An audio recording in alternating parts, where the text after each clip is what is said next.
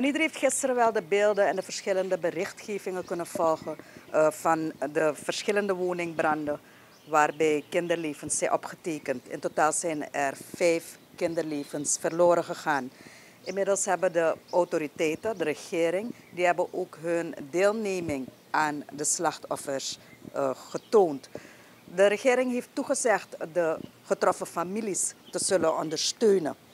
We hebben ook begrepen dat er een delegatie van volksvertegenwoordigers naar uh, het adres is geweest, waar de vier kinderen om het leven zijn gekomen.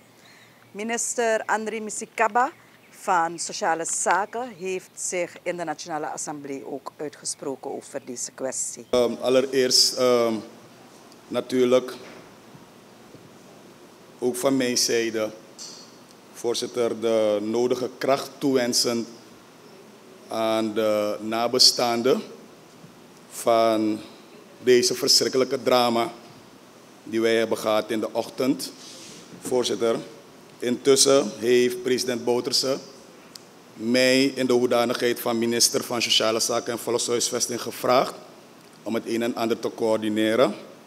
Voorzitter, wat tot nu toe aan informatie bekend is, is dat het gaat om vijf doden. Vijf kinderen hebben het leven gelaten. Voorzitter, tussen anderhalf en zes jaar. één in Pontbuiten en één en vier in Latour. Ik heb mij persoonlijk georiënteerd vanochtend op beide locaties. Uh, Pontbuiten hebben we kunnen praten met uh, de nabestaanden, waaronder de grootmoeder en de vader van het kind dat het leven liet. Op dit moment, as we speak, is de minister van twee, twee, twee mensen namens de regering, met name de minister van Volksgezondheid en de minister van Sport en Jeugd, op Van Dijk, zijn bezig te praten met de nabestaanden van de overledenen van Latour.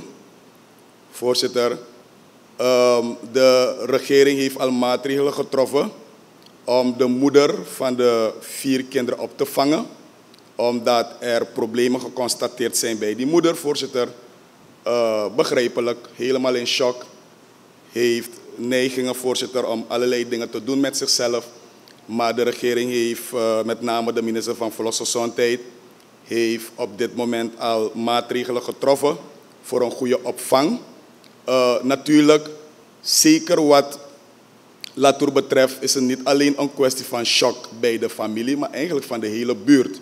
U was vanmorgen zelf daar. We hebben de ontredderde mensen daar ontmoet en gesproken, voorzitter. Naast het leed dat we hebben, voorzitter, in termen van levens van mensen, zijn er drie woonhuizen eraan gegaan. Eén in Pontbuiten en twee in Latour. De regering via de president heeft toegezegd, voorzitter, de ondersteuning te zullen geven. Het parlement heeft ons vanmorgen opgeroepen om met enige coördinatie uh, de zaak aan te pakken. Voorzitter, dat zullen we zeker doen. Uh, de regering is bezig nog samen met de mensen in kaart te brengen wat nodig zal zijn. Uh, uiteraard bij brand is er sowieso kleding nodig, dat soort dingen. Voorzitter, we zullen gelijk daarop inspelen. En dan zullen we kijken, voorzitter, naar kwesties die te maken hebben met ter aardebestelling van de lijken. Daarnaast wordt er ook gekeken naar de, de woonhuizenvoorstel. Al bij al, de regering is, is bezig, natuurlijk nog in de fase van informatie verzamelen. En ik denk dat wij vanavond rond 7 uur, 8 uur zover zijn dat we alle basisinformatie hebben, waardoor de regering gericht, voorzitter, uh, de ondersteuning zal bieden.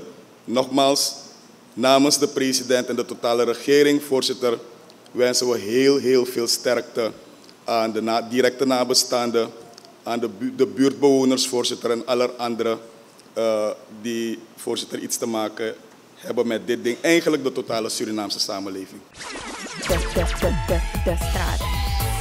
De straat.